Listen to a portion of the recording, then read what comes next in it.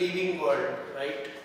Or in last lecture, we particularly discussed what is the need of studying diversity amongst organism and like the another thing we discussed what was what are the different taxonomical aids that help us to study the diversity okay can you recall that which taxonomical aids we described in last class if you can recall these then you are right herbarium hmm?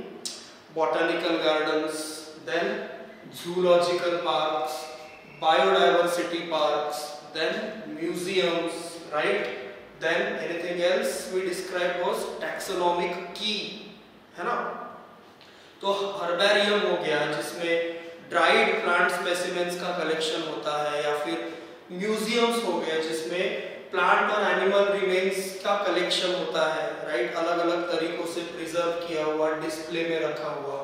या फिर even botanical gardens हो गए, जिसमें live plant specimens होते हैं, जो natural conditions में cultivate किए जाते हैं और इंफॉर्मेटिव बोर्ड्स की मदद से लोगों को उनके बारे में बताया जाता है। ये जो सारी चीज़ें हैं, ये क्या है? ये सब वो चीज़ें हैं जो हमको डाइवर्सिटी समझने में, उसको मेंटेन करने में हेल्प करती है। इसीलिए हम इन सभी चीज़ों को कुल मिला के कहते हैं taxonomic aids right is it okay अब डाइवर्सिटी है, ये हमको पता है। डाइवर्सिटी क्यों है? इसका जवाब हम यू दे सकते हैं कि भाई इवोल्यूशन जैसे हुआ तो इतने सारे सालों में बहुत सारे अलग अलग तरह की कंडीशंस को फेस करना पड़ा और उसी बदलती हुई कंडीशंस की वजह से अलग अलग प्रकार के ऑर्गेनिजम्स पृथ्वी पे मतलब अर्थ पे तैयार हुए। अब ये इवोल्यूशन का पार्ट है कि ये एग्जैक्टली exactly कैसे हुआ। लेकिन हुआ है, इसीलिए आज की डेट में हमको इतनी सारी बायोडाइवर्सिटी जो है वो दिखती है। एक एस्टिमेट के हिसाब से, एक जनरल एस्टिमेट के हिसाब से total number of possible species on earth can be about 30 million. See what I said or what is the thing you can see on the board is कि estimated number जो है किसका? Estimated number of species. Different type की species. फिर उसमें plants आ गए, animals आ गए micro organisms आ गए फंगस आ गए, सभी आ गए। जितने भी लिविंग ऑर्गेनिजम्स है, वो कुल मिला के अलग अलग कितने प्रकार की स्पीशीज ऑन एन एवरेज अनुमान के हिसाब से अर्थ पे प्रेजेंट हो सकती है? 30 million 30 million okay one million means ten lakh है ना? तो इसमें से बहुत सारे ऑर्गेनिजम्स ऐसे हैं, या कई सारी डायवर्सिटी ऐसी है, जिसके बारे में अभी तक हम पता लगा ही नहीं पाए। और हम ये कहे कि वी वी आर नॉट और वी आर नॉट नोन और sorry we don't know anything about many different species yet okay and the work is still going on to discover those species, है ना लेकिन जो हमको पता है, ऐसी स्पीशीज का नंबर भी मिलियंस में है hmm? तो फिर तो basic question that remains is at the end of the day जो बेसिक सवाल बचता है वो ये कि how we are going to study this much amount of diversity because there is a constant need to study the diversity why we have described this in last lecture the question remains is how we are going to do it okay so here comes the role of a branch of science here comes the role of branch of science named taxonomy. Okay. What is taxonomy if you see? It is a branch of biology or science you can say okay which deals with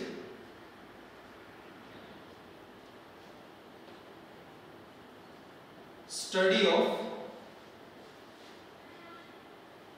collection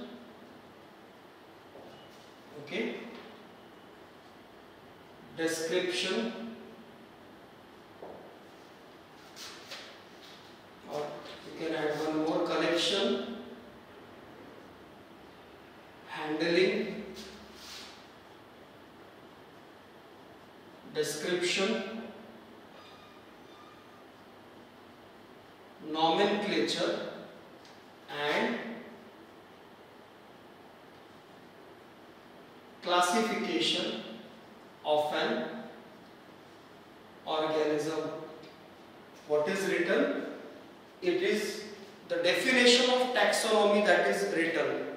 Taxonomy is a science or say branch of biology that deals with five aspects. Okay, which five aspects? If you see, collection, handling, description, nomenclature and classification of an organism means for example if we start with something like ki you have come across a new organism or you find some new species that is not yet described अभी तक हमको पता ही नहीं है ऐसी कोई plant की animal की इंसेक्ट की स्पीशीज तुमने ढूंढी okay okay. So what will you do with that species?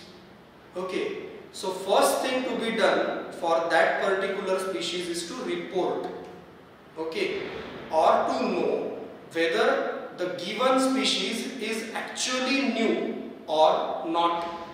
है ना हमको ये कैसे पता चलेगा कि जो नई वैरायटी हमको मिली है जो हमको लग रहा है कि नई है तो ये कैसे पता चले कि वो सचमुच में कोई नई यूनिक वैरायटी है जो अभी तक कोई ढूंढ नहीं पाया है या फिर कोई ऐसी वैरायटी है जो ऑलरेडी ढूंढ कर हो चुकी है। How we are going to know this है ना? तो फिर ऐसे कुछ साइंटिस्ट हैं या ऐसे कुछ लोग हैं जो यही काम करते हैं। उनका काम ही ये है। ऐसे लोगों को या ऐसे साइंटिस्ट को हम क्या कहते हैं? टैक्सोनॉमिस्ट कहते हैं। ठीक? जैसे दांत के डॉक्टर को डेंटिस्ट कहते हैं। जैसे हड्डियों के डॉक्टर को ऑर्थोपेडिशियन कहते हैं, है ना? जैसे महिलाओं के डॉक्टर को गायनाकोलॉजिस्ट कहते हैं।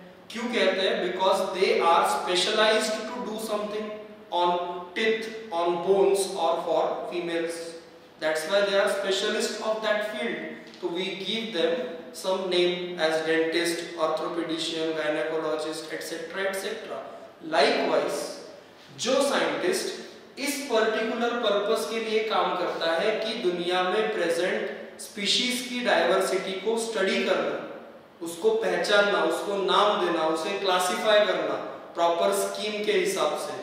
उन साइंटिस्ट को हम कहते हैं taxonomist what he do is he collect what? Some species which may be new to the world. Okay, properly handles it. Okay, studies its characteristics or say describes that particular species कि उसमें पंख है कि नहीं, कान कितने, नाक कितने colour कैसा, आँखें कैसी, कितनी, सब छोटे बड़े कैरेक्टरिस्टिक्स को डिस्क्राइब करता है। फिर एक प्रॉपर स्कीम को यूज़ करके प्रॉपर मेथड को यूज़ करके उस पर्टिकुलर अननोन स्पीशीज को अगर वो सही में नई स्पीशीज है डिस्क्राइब प्रीवियसली डिस्क्राइब नहीं है तो उसको एक प्रॉपर सिस्टम का इस्तेमाल करके नाम दिया जाता है। नाम देने की प्रक्रिया या प्रोसेस को हम नॉमेनक्लेचर कहते हैं। तो इसकी डिटेल्स अभी अगले डिस्कशन में आएगी कि what is nomenclature and how it is done but yes nomenclature is a part of taxonomy every organism should be provided with some proper name. Okay, so giving or providing a proper name to a newly found organism is called nomenclature. तो describe करने के बाद एक proper नाम दिया जाएगा और सबसे इंपॉर्टेंट बात, उस ऑर्गेनिज्म को कैरेक्टरिस्टिक्स के हिसाब से पहचान के, सब कुछ स्टडी करने के बाद उसके रिलेटेड ऑर्गेनिजम्स के साथ या रिलेटेड एनिमल्स या प्लांट जो भी होगा, उनके साथ ग्रुप किया जाता है। दैट इज़ व्हाट उसे क्लासिफिकेशन में एक प्रॉपर जगह दी जाती है। जैसे शॉर्ट में समझाऊं तो हम ह्यूमंस खुद को ह्यूमंस कहते हैं इन जनरल लेकिन साइंस की भाषा में हम कौन हैं? हम हैं होमो सेपियंस है ना? ह्यूमंस ये हमने खुद को दिया हुआ कॉमन नाम है। लेकिन हमारा साइंटिफिक नाम नॉमेनक्लेचर के हिसाब से दिया गया नाम क्या है? होमो सेपियंस तो हमको क्लासिफाई जब करना होता है मतलब हम खुद को जब क्लासिफाई करते हैं तो हम अलग अलग ग्रुप्स में खुद को क्लासिफाई करते हैं। जैसे हम खुद को किंगडम एनिमेलिया में रखते हैं, है ना? हमारा किंगडम कौन सा है? एनिमेलिया है है ना? हम खुद को क्लास मैमेलिया में रखते हैं, है ना? क्योंकि हम मैमल्स हैं। हम खुद को जीनस होमो में रखते हैं, हम खुद को स्पीशीज सेपियंस में रखते हैं, है ना? होमो इस जीनस के अंदर सेपियंस नाम की स्पीशीज हम है, लेकिन इसी जीनस के अंदर कोई और स्पीशीज भी हो सकती है जो हमसे रिलेटेड एनिमल्स है, लेकिन हम नहीं है ह्यूमंस नहीं है।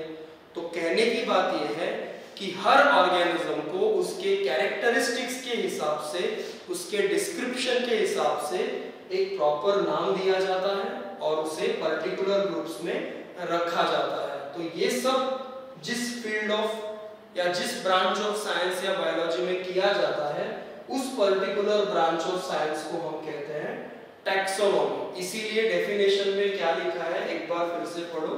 That taxonomy is a branch of biology और branch of science that deals with what that deals with five aspects collection handling description nomenclature and classification of organisms.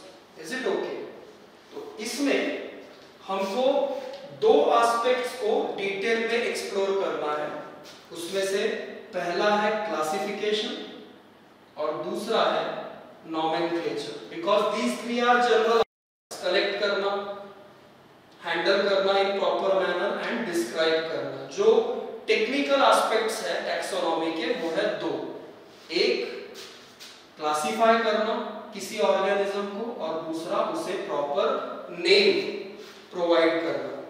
ठीक? तो उसमें से सबसे पहली चीज़ दोनों में से हम पढ़ेंगे क्लासिफिकेशन ओके तो before we start anything specific about classification I need to ask you one basic question what is classification ठीक है ना?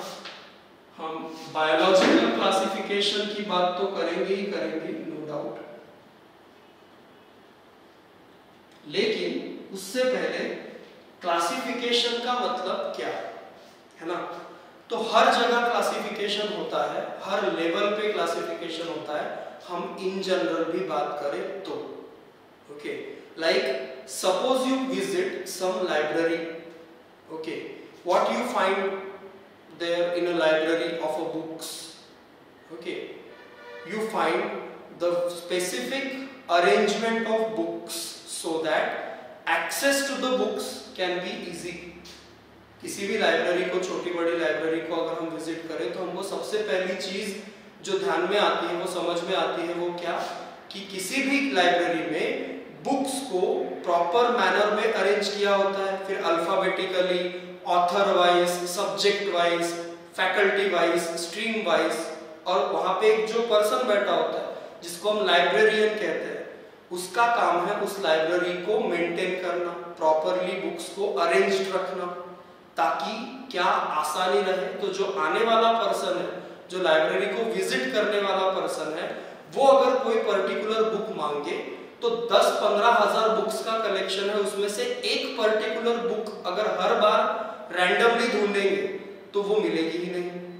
तो उस लाइब्रेरियन का सिस्टम कुछ इस हिसाब से होता है क्लासिफिकेशन कुछ इस हिसाब से होता है कि वो पाँच सेकंड के अंदर आपको बता देती है कि वो बुक कौन से पार्ट ऑफ़ लाइब्रेरी में मिलेगी या कौन से रैक में मिलेगी या कौन से शेल्फ में मिलेगी। अब ऐसा क्यों पॉसिबल है कि वो बुक लाखों बुक्स में से एक पर्टिकुलर बुक पाँच मिनट में मिल गई, ये क्यों पॉसिबल हो पाया? है ना? वो इसलिए पॉसिबल हो पाया क्योंकि वो क्लासिफाइड थी या वो प्रॉपरली अरेंज करके रखी गई थी। तुम दूसरा एग्जांपल ले लो। अगर तुमने आपके मोबाइल अब ये मोबाइल वाला एग्जांपल थोड़ा जल्दी समझ में आता है हमको है ना? तो हमने अगर अपने मोबाइल में गाने डाउनलोड किए सपोज़ अलग अलग तरह के गाने, और उनको रैंडमली रख दिया, है ना? और आपके मोबाइल में सर्च वाला ऑप्शन नहीं है, ऐसा सोच के चलो। ठीक है, आपने पचास गाने डाउनलोड किए और सर्च वाला ऑप्शन नहीं है तो आपको पर्टिकुलर गाना सुनने के लिए अगर रैंडमली डाउनलोड करके रख दिया तो हर बार ऊपर नीचे करना होगा। लेकिन फिर मोबाइल में एक सुविधा दी होती है फोल्डर बनाने की और हम उसको, उसमें चीज़ों को रख सकते हैं नाम देकर। अगर हम फाइल्स को नाम देकर फोल्डर बना के रखें तो वो हुआ क्लासिफिकेशन जिससे हम हमारा पसंदीदा गाना या हमको रिक्वायर्ड गाना आसानी से जल्द से जल्द ढूंढ सकते हैं, है ना? तो सवाल फिर वही बचता है कि why there is a of classification the need of classification arises wherever there is a amount of data जहाँ पे भी डाटा का साइज़ बड़ा होता है, जहाँ पे भी large amount of data to be processed होता है ऐसी जगह हमको हमेशा एक बेसिक साइंस की ज़रूरत पड़ती है, जिसे हम क्लासिफिकेशन कहते हैं, है ना? और कौन सी चीज़ को क्लासिफाई करना है, इस पे डिपेंड करता है कि कौन सी स्कीम या किस तरह का टेक्निक क्लासिफिकेशन के लिए यूज़ किया जाएगा। यहाँ पे हम जो बात कर रहे हैं, वो किसका क्लासिफिकेशन है? लिविंग ऑर्गेनिजम्स का, है ना? तो फिर बायोलॉजिकल क्लासिफिकेशन को कैसे डिफाइन करें? How can we define biological classification in simplest sense so we can define it like it is a systematic arrangement of some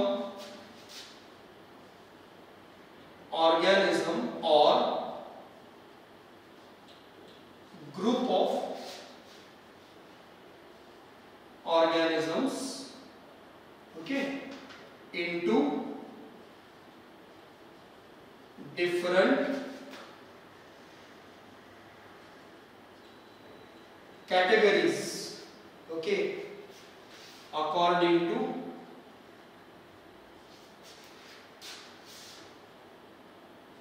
particular scheme क्या लिखा है?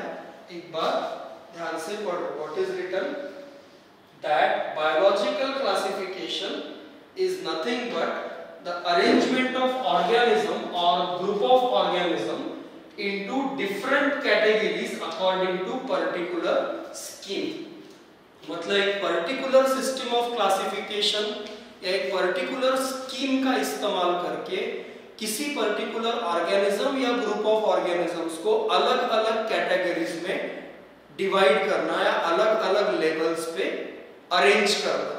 That is what you call classification okay एक और चीज़ यहाँ पे समझो कि scheme का मतलब क्या? तो स्कीम का मतलब जो हम नॉर्मली जानते हैं वही। जैसे तुम किसी आ, दुकान में जाओ इलेक्ट्रॉनिक्स के और तुम कोई चीज़ खरीदना चाहो तो तुम सबसे पहले आजकल एक कॉमन सी चीज़ कॉमन सा टर्म जो लिखा हुआ देखते हो, वो है स्कीम है ना? जैसे ऑफ़र वाली स्कीम ईएमआई वाली स्कीम तो वो क्या होता है? स्कीम मतलब एक पर्टिकुलर क्या बोलते हो सेट ऑफ़ रूल्स जिसके हिसाब से आप उस चीज़ को खरीद सकते हो, है ना?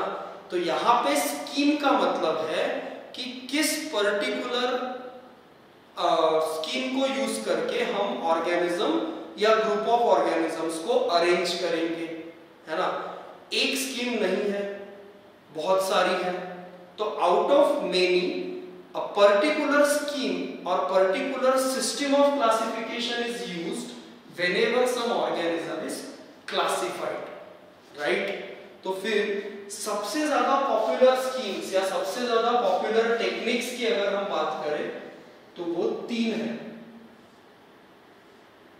ओके सबसे ज़्यादा पॉपुलर स्कीम या सबसे ज़्यादा पॉपुलर टेक्निक्स की अगर हम बात करें तो there are three separate schemes और three separate techniques okay, according to which organisms are arranged in different categories or basically they are classified.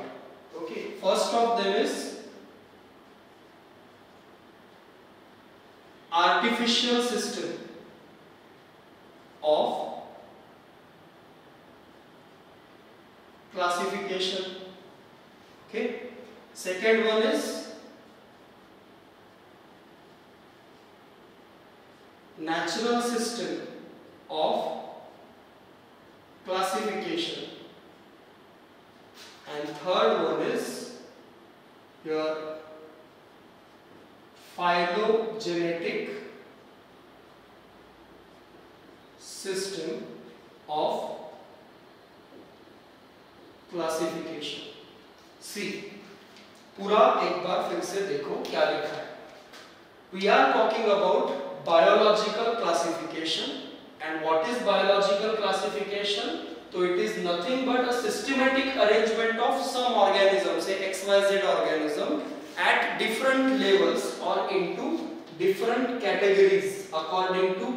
particular scheme how many schemes are there that can be applied three artificial system natural system and phylogenetic system okay अब ज़ाहिर सी बात है कि scheme या system का कोई तो आधार होगा जिस आधार पे या जिस बेसिस पे वो स्कीम या सिस्टम किसी ऑर्गेनिज्म को क्या करेगी अलग अलग कैटेगरीज में क्लासिफाई करेगी है ना तो अलग अलग सिस्टम्स में अलग अलग आधारों को या अलग अलग बेसिस को यूज़ किया जाता है और उस बेसिस के भरोसे उस पर्टिकुलर ऑर्गेनिज्म को डिफरेंट कैटेगरीज में क्लासिफाई किया जाता है। जैसे कि जब बात आती है आर्टिफिशियल सिस्टम ऑफ़ क्लासिफिकेशन की ओके तो this system of classification that is artificial system of classification takes into consideration the features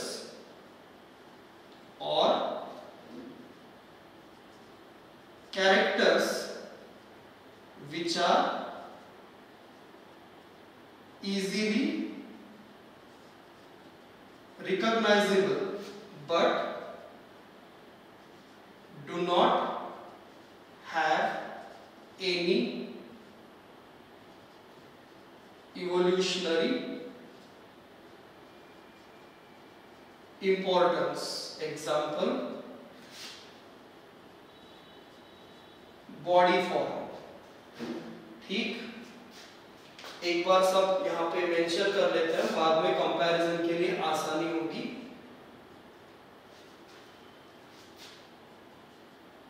This system of classification considers clearly visible or morphological characters which do not change from generation to generation. Okay? While phylogenetic system of classification is mainly based upon characters that are seen in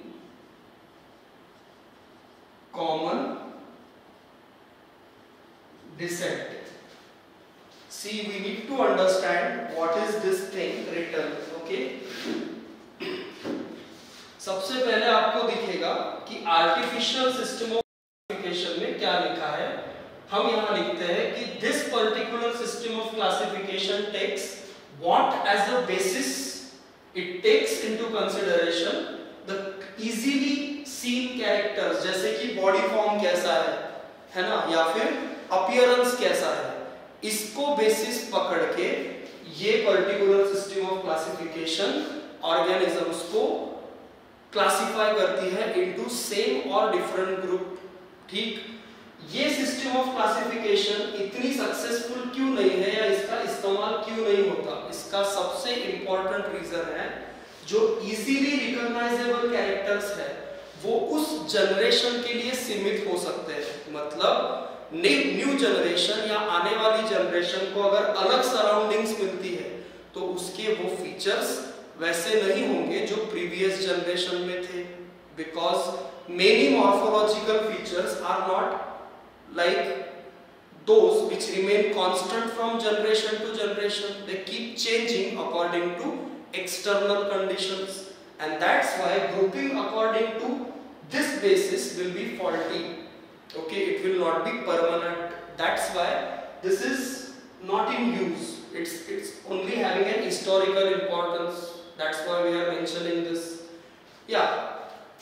Natural system of classification is quite a successful basis because it considers, no doubt, this particular system like artificial system considers morphological characters, vegetative characters, but it is more reliable because it considers the morphological features or characters which do not change from generation to generation. है ना एक generation से दूसरे generation में change नहीं होते ऐसे morphological features को ये particular system of classification as a basis use करती है और इसीलिए ये ज़्यादा रिलायबल है as compare to artificial system of classification example के तौर पे क्वेश्चन वाइज ये चीज़ इंपॉर्टेंट है। बेंथम एंड हुकर्स सिस्टम देखो नेचुरल सिस्टम ऑफ़ क्लासिफिकेशन हम हर उस सिस्टम ऑफ़ क्लासिफिकेशन को कहेंगे, जिसका आधार, जिसका बेसिस क्या है? क्लियरली विजिबल और मॉर्फोलॉजिकल और vegetative characters that do not change from generation to generation लेकिन इसको एज अ बेसिस यूज़ करके अलग अलग साइंटिस्ट्स ने अपनी सिस्टम ऑफ़ क्लासिफिकेशन डेवलप की। फिर उसमें सबसे ज़्यादा फ़ेमस कहो या सबसे ज़्यादा इंपॉर्टेंट मेथड या सिस्टम कौन सी है जो नेचुरल सिस्टम के अंडर आती है? Bentham and Hooker's this is the question material कि Bentham and Hooker's system of classification was was basically natural system of classification और Which of the following system of classification is a natural system of classification? This is one of the important option you will find Bentham and Hooker's. Okay. Likewise, जो classification की system evolutionary relationships के basis पे organisms को classify करती है मतलब decent के basis पे। यहाँ पे जो डिसेंट लिखा है डिसेंट का मतलब है कॉमन एंसेस्टर ठीक है ना? इवोल्यूशनरी रिलेशनशिप्स को हम क्या कहते हैं? फाइलोजेनेटिक रिलेशनशिप्स तो इवोल्यूशनरी रिलेशनशिप्स या कॉमन डिसेंट के बेसिस पे जो क्लासिफिकेशन सिस्टम ऑर्गेनिजम्स को क्लासिफाई करती है, उसे हम फाइलोजेनेटिक सिस्टम ऑफ़ क्लासिफिकेशन कहते हैं और ये सबसे ज़्यादा रिलायबल सिस्टम ऑफ़ क्लासिफिकेशन है। For example R H Whittaker की जो फाइव किंगडम सिस्टम है,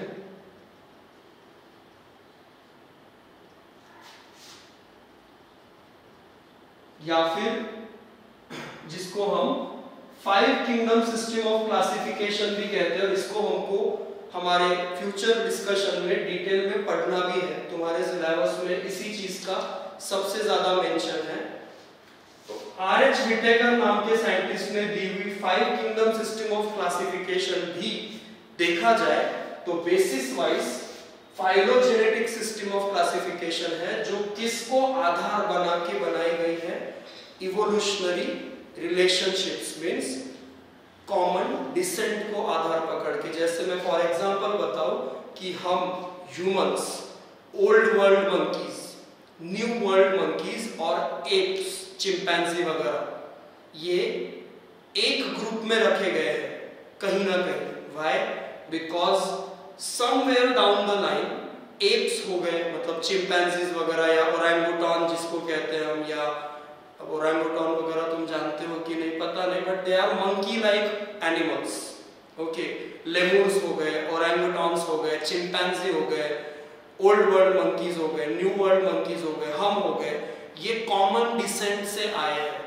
तो हम लोअर लेवल्स पे भले ही सेपरेट ग्रुप्स में रखे गए हो, जैसे सेपियंस में हम आते हैं तो कोई दूसरी स्पीशीज होगी जिसमें चिंपैंजी आएगा, लेकिन होमो जीनस के लेवल पे हम दोनों एक ही ग्रुप में हमारा भी जीनस होमो है, उनका भी जीनस होमो है।